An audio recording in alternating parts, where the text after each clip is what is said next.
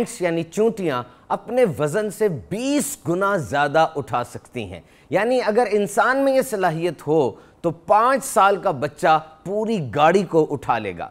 चूंटियों की बारह हज़ार इकसाम दरियाफ्त हो चुकी हैं। ये चूंटियाँ 110 मिलियन सालों से ज़मीन पर आबाद हैं।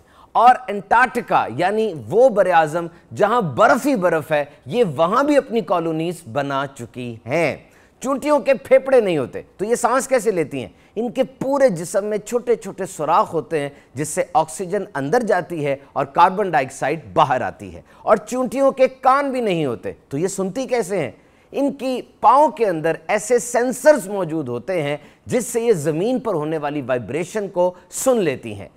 Ants are a social insect. ये एक सोशल इंसेक्ट हैं और कॉलोनीज की सूरत में रहती हैं। तकरीबन एक कॉलोनी में 10 लाख तक चूंटियाँ हो सकती हैं। हार्वर्ड यूनिवर्सिटी की रिसर्च के मुताबिक दुनिया में मौजूद सारी चूंटियों का वज़न और दुनिया में मौजूद सारे इंसानों का वज़न तकरीबन बराबर है।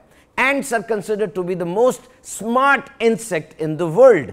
चूंटी को ज़मीन पर जहीन तरीन हशरातुल अर्ज़ यानी कीड़ा समझा जाता है। हाथी का वज़न 6000 किलो और दिमाग का वज़न 5 किलो।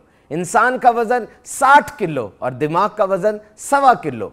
चूटी के दिमाग में ढाई लाख सेल्स होते हैं। और अगर जिसम के तनासुब के अतबार से देखा जाए तो चूंटी का दिमाग तमाम जानदारों में सबसे बड़ा होगा। चूंटी कहीं भी चली जाए, खाना अपने बिल में ही लेकर आती है। क्यों? इसके जिसम से एक खास किस्म का केमिकल यानी खुशबू निकलती है, जिसको फ्रेमोन कहा जाता है। उस खुशबू के पीछे चलते चलते ये अपने बिल को ढूंढ लेती है। कहा जाता है कि अगर आप सीखने के लिए तैयार हो तो उस्ताद खुद ब खुद नमूदार हो जाता है। इस चूंटी के अंदर भी हमारे लिए सीखने के लिए बहुत कुछ है। आपने गौर किया होगा कि अगर चूंटी के रस्ते में उंगली रखती जाए या कोई और रुकावट रखती जाए चूंटी अपना रास्ता खुद ब खुद तलाश कर लेती है। हमारे लिए सीखने के लिए क्या है कि अगर इंसान गिर जाए तो ये बुरी बात नहीं लेकिन गिरने के बाद अगर उठने से इनकार कर दे तो ये अच्छी बात नहीं है। अगर गिर जाएँ शान से उठें और दुनिया पे छा जाए। Islamic and informative videos subscribe to Dawat Islami YouTube channel and click on the bell notification